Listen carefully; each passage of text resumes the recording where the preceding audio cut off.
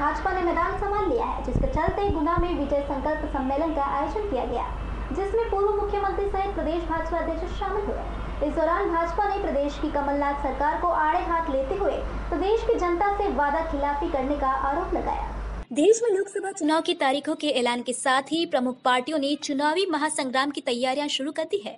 वहीं मध्य प्रदेश में भाजपा ने विधानसभा चुनाव में मिली हार को भूलकर लोकसभा चुनाव जीतने की तैयारियों में जुट गई है। जिसके चलते गुना में विजय संकल्प सम्मेलन का आयोजन किया गया, जिसमें पूर्व मुख्यमंत्री शिवराज सिंह चौहान, प्रदेश भाजपा अध्यक्ष राकेश सिंह और पूर्व मंत्री गोपाल भार्गव के साथ बड़ी संख्या में भाजपा कार्यकर्ता शामिल हुए।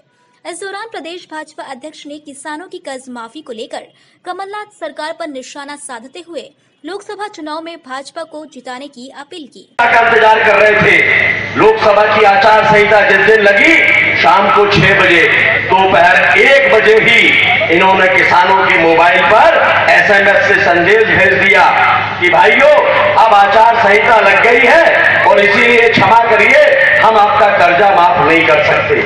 मध्य प्रदेश का किसान भी जागरूक किसान है। उसको मालूम है कि अगर तुम्हारे कर्जा माफ़ करने की मंशा होती तो तुम लाल, पीले, नीले, हरे कार्ड नहीं भरवाते।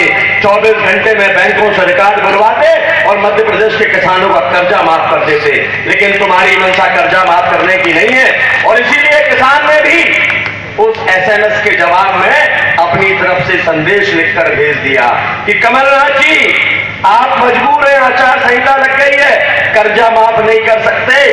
सुन लीजिए कमलनाथ जी, हम भी मजबूर हैं, आचार संहिता लग गई है, लोकसभा के चुनाव सामने हैं और हमने निर्णय लिया है कि लोकसभा के चुनाव में कमल पर वोट लगाकर नरेंद्र मोदी की सरकार हम बनाएँगे। वहीं पूर्व मुख्यमंत्री शिवराज सिंह चौहान ने कहा कि भाजपा शासनकाल में मुख्यमंत्री कन्यादान योजना के तहत गृहस्थी का सामान दिया जाता था, लेकिन कांग्रेस बनते ही सत्ता के नशे में चूर मंत्री विवाह समारोह में देसी विदेशी शराब पिलाने की बात कर रहे हैं।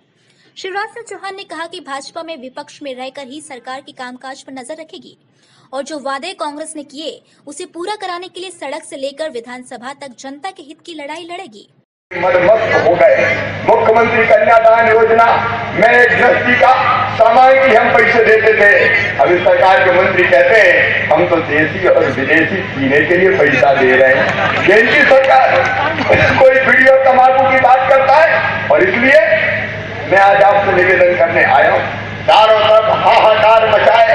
एक बात ज़रूर जो मेरे प्रदेश अध्यक्ष राकेश जी ने कही है, मैं भी दोहराना चाहता हूँ। मुख्यमंत्री सुन लें ज्योतिरादित्य सुन लें जनता को कष्ट दिया और कार्यकर्ताओं को दबाने की कोशिश की तो लड़ाई सड़कों पे होगी, छोड़ेंगे नहीं, हम किसी भी कीमत और दूसरी बात किसान भाइयों ये जो कर्ज माफ़ी का मामला है जो वादा किया वो निभाना पड़ेगा? दो लाख रुपया का कर्जा माफ़ करना पड़ेगा। नहीं निभाओगे तो निभाने मामा को सड़कों पे आना पड़ेगा। भारतीय जनता पार्टी को लड़ाई लड़नी पड़ेगी। वो लड़ाई लड़ेंगे, हम जनता के लिए। हम दबने वाले नहीं है। हम झुकने वाले नहीं है। कोई ये ना सोचे कि हम कमज़ोर हो गए दम अभी बाकी है। भाजपा के विजय संकल्प सम्मेलन में भाजपा कार्यकर्ताओं के साथ बड़ी संख्या में आम जनता शामिल हुई। भाजपा नेताओं ने कार्यकर्ताओं को विधानसभा चुनाव में मिली हार को भूलकर लोकसभा चुनाव में जुटने का आह्वान किया। आईएनसी 24 न्यूज़ के लिए गुना से दीपक औजा की रिपोर्ट।